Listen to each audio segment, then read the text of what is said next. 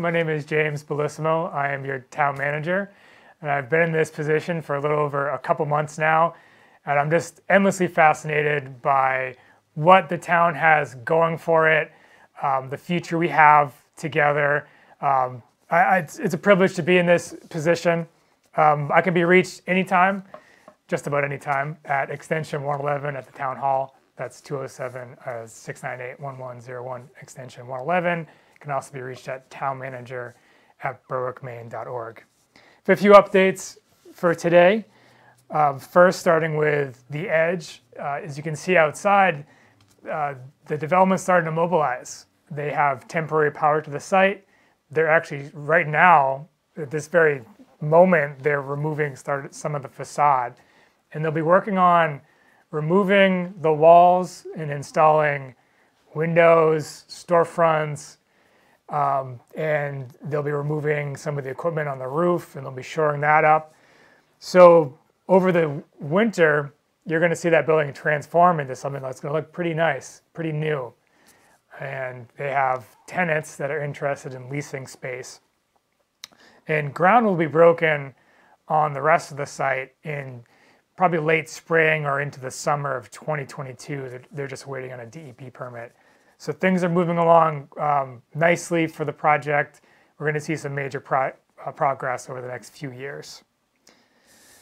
Um, for we have an update on water. We have some pretty big upgrades in the works.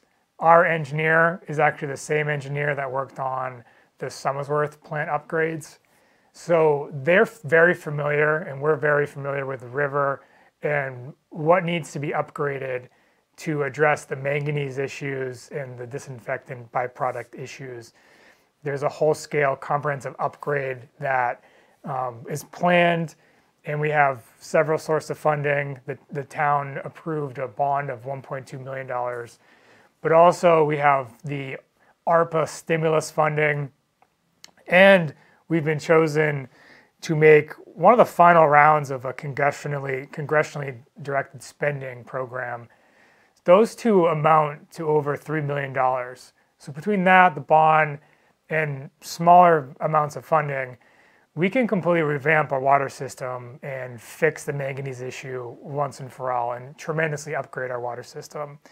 And just as a note, even if you're not on the water system, you're still benefiting from it. I mean, the, our schools in Berwick utilize, uh, the Hussey School uses the water system. And it's, it's critically important to have that infrastructure downtown for economic development purposes. Um, for recreation, so much stuff, so much good stuff's going on. Angela has done so much, and the um, she, she's been here just under a year. Um, we've worked with um, her and the uh, abutters to Memorial Field to uh, purchase three acres to expand Memorial Field. And the short-term plan is to look at trails and the long-term plan is to create an additional field there. So there's a, a, whole feasibility study that's online and there's some presentations online as well. I highly recommend checking that out. There are plans for the next five, ten years and beyond. Happy to share the holiday parade and tree lighting is on for this year. December 4th is the parade at 1.30 and the lighting of the tree is at 4.30. The Legion is taking nominations for Citizen and Business of the Year. It's a great award and it's a great program that Legion puts on. It's a fantastic opportunity to recognize the people in Berwick and the businesses in Berwick that make Berwick a truly special place to live and work. Um, a very warm welcome to our new assistant planner, Tam- Tammy Bellman. She takes my old position, and she's been here for four days, and um, she's fantastic. She's got some great ideas, comes with a wealth of experience and knowledge.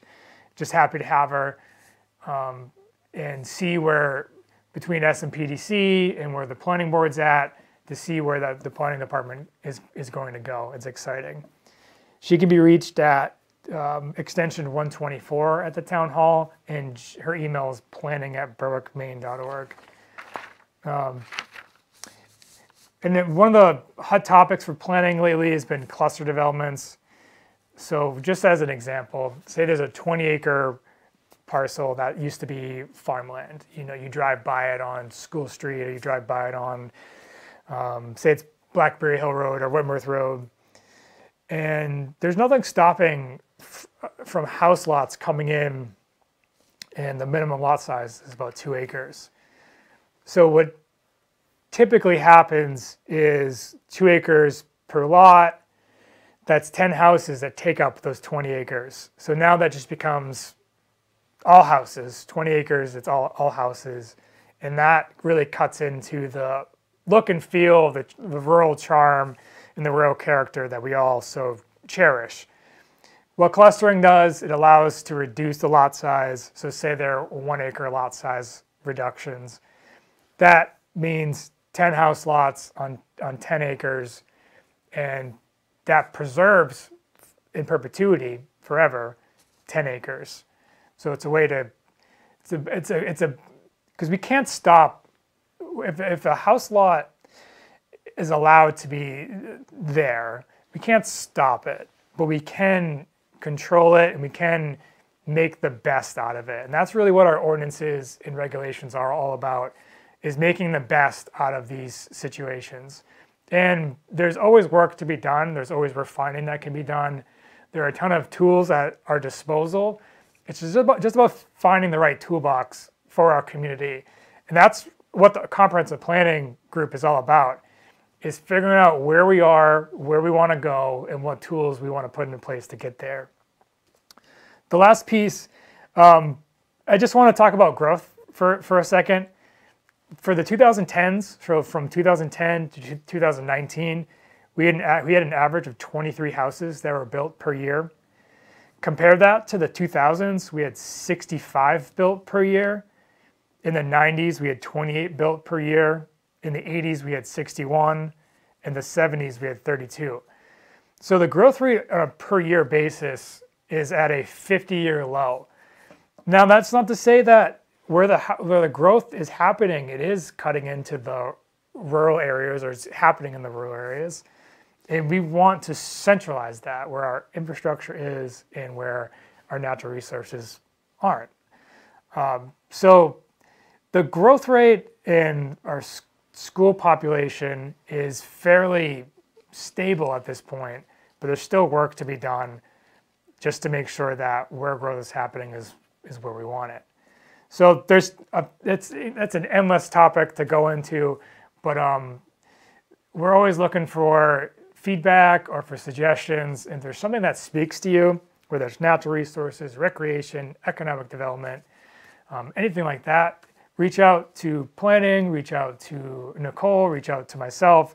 We'll be happy to help you get plugged in.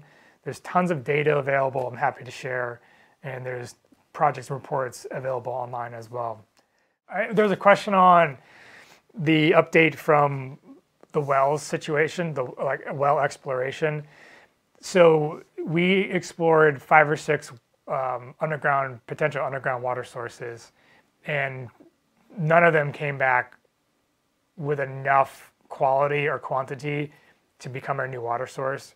So that was that was the option A, or that was our first um, first study to see if we could find an underground source that needed less treatment, that wasn't high in manganese, to be able to plug right into an underground aquifer source close to downtown and close to our infrastructure. So that it did not bear fruit we are aware of other underground sources, but they are too far away from our water systems.